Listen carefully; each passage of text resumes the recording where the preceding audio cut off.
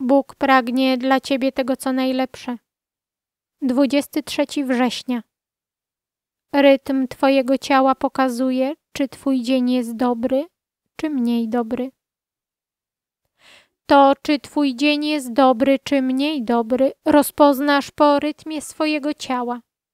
Jeżeli jesteś spokojny i radosny, to z pewnością wiele spraw załatwiłeś właściwie. Przyjąłeś swojego przyjaciela, dzień, a więc skorzystałeś z niego.